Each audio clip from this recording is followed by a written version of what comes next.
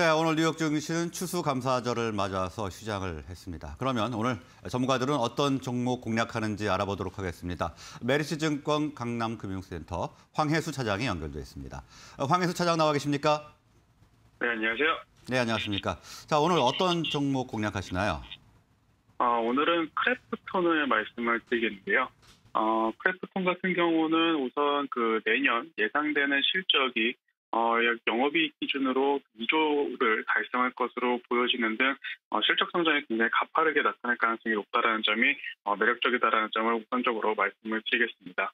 또한 최근 출시된 신작 그 배틀그라운드 뉴 스테이트가 어, 신흥국 그 인도 시장이라든지 어 이제 모바일 게임 시장이 확산되고 있는 남미 시장에서 그 매출 순위가 굉장히 크게 올라오면서 안정적인 매출을 장기적으로 달성할 가능성이 높아지는 상황이 계속해서 보여지고 있고요.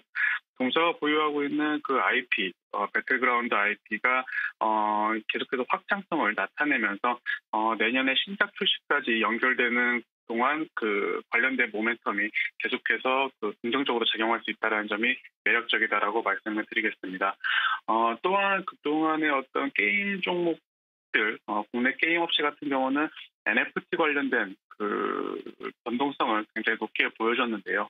어, 기존의 어떤 게임 개발과 글로벌 그 서비스라는 어, 펀더멘탈적인 측면을 살펴봤을 때 어, 가장 근접하게 어, 성과를 잘 내고 있는 기업이 크래프톤이기 때문에 어, 현재 가격 보완 때부터는 어, 관심을 가지시면서 매수 관점으로 접근하셔도 나쁘지 않은 종목이다 말씀드리겠고 또한 추가적으로 어떤 주주 친화 정책이 어, 발표가 된다면 어, 주가의 상승폭은 더 크게 나타날 수 있다는 점이 긍정적이다 이렇게 말씀을 드리겠습니다.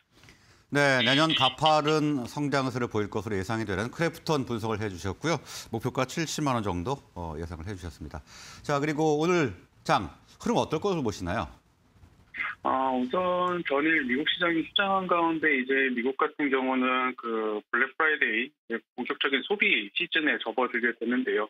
어, 국내 시장 같은 경우는 물론 관련된 기업들이 어느 정도 영향을 볼 수도 있겠지만 어, 연말로 갈수록 이제는 그 테마성 어, 중소형주 쪽보다는 어, 일부 호재가 있는 어, 대형주라든지 그 코스닥 시장에서도 그동안 조금 소외를 받았었던 제약 바이오 섹터에서 어, 조금 신고가 패턴이 나오는 종목을 유의하게 살펴보시는 것이 좋겠다라고 말씀을 드리겠고요.